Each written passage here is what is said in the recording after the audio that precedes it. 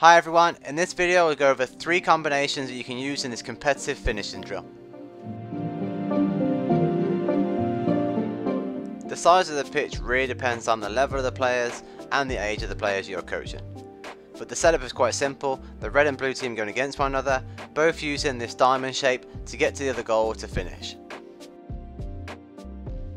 First variation here, number 6 on the red team starts with the ball, plays it into number 8, number 8 turns, plays up to number 10, at the same time number 7 comes down to support the ball, 10 plays a 1-2 in number 7, number 10 then crosses the ball for 7 to run on and finish.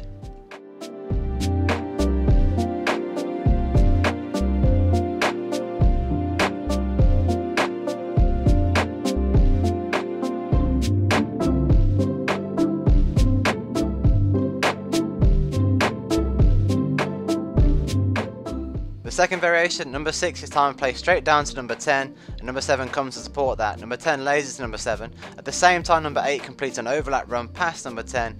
8 then crosses the ball for 7 to then go to finish.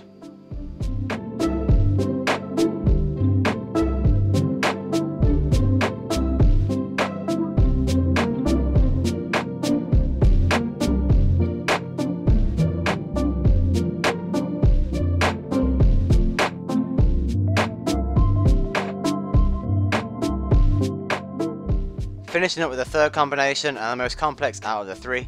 Number 6 plays into 8, number 8 will knock it into the middle where 7 tucks in to play the ball. 7 plays to number 10, while number 8 runs around 7 to support number 10. At the same time, then number 7 will complete an overlapping run, 8 will play the through ball to number 7, 7 will cross the ball, and then number 8 will finish.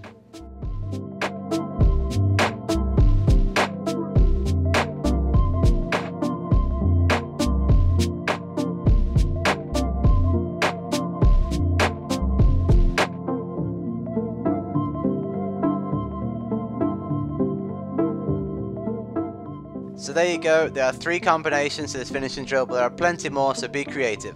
Have fun, and good luck.